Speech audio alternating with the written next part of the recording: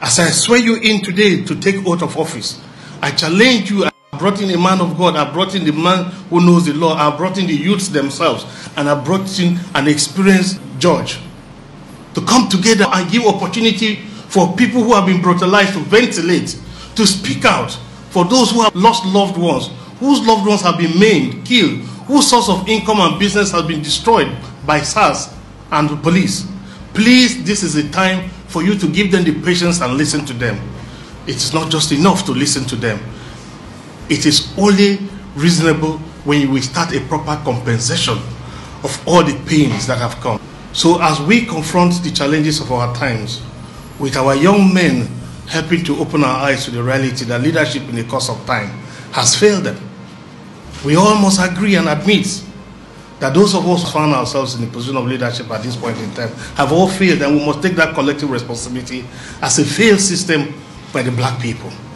It is time for us to develop that consciousness, face this reality, and agree with the young people that something has gone wrong. This has nothing to do with one administration or the other. It is a cumulative cascading effect of the rot and miasma that has accumulated over the course of time. I cannot explain why a young man will come out of the university five, six years down the line, no job. Ultimately, struggling to make a living, and every day in the street, he gets brutalized. In the course of searching for an independent source of livelihood, he is confronted with every single day, either his taxation or his police.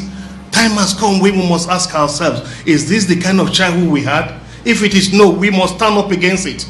We must insist that the young men must be given opportunity to grow, just the way we saw prosperity in the course of the provisions that government made for us. It is our time to provide same for them. And that's why it's time with the young people of this country to say, we must put an end to SARS. And we must put an end to police.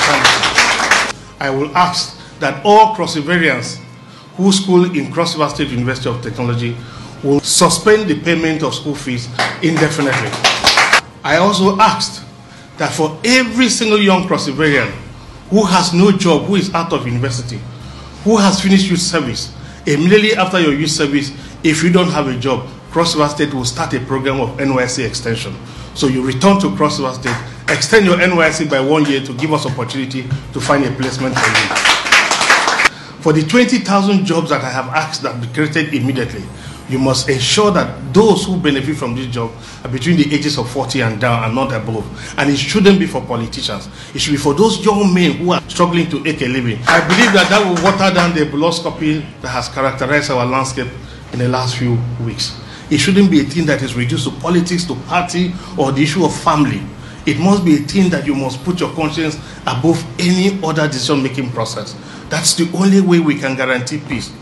I therefore believe strongly that your committee, as chairman, must recognize those young challenges, those young school leavers, those fresh graduates, and all of those people. That is part of why restitution is part of your scope.